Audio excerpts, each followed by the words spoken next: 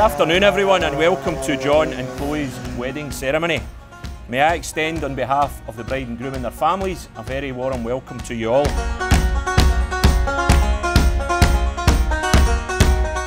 They were both at a mutual friend's house warming party at a flat in the Charing Cross area of Glasgow.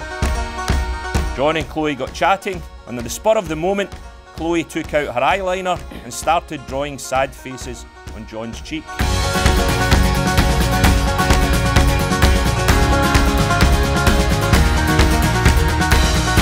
She then said, let's make those sad faces happy, and smacked a big kiss on John.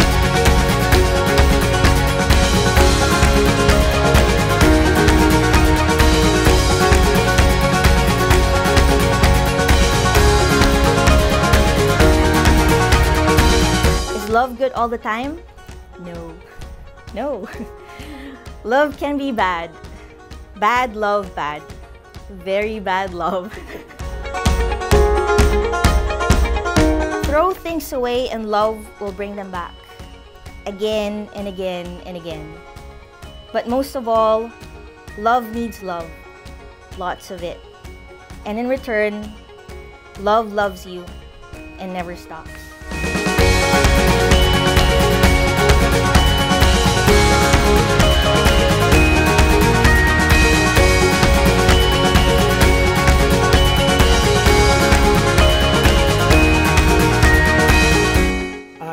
John Gerard McGrory, take Chloe McMillan to be my lawful wedded wife.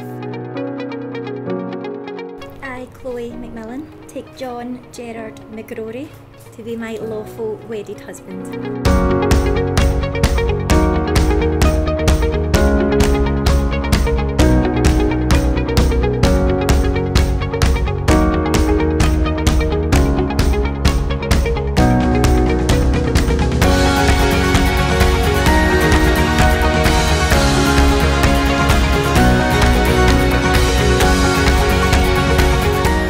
Following the declarations made before me and in the presence of these witnesses, it's now my pleasant duty to pronounce you husband and wife.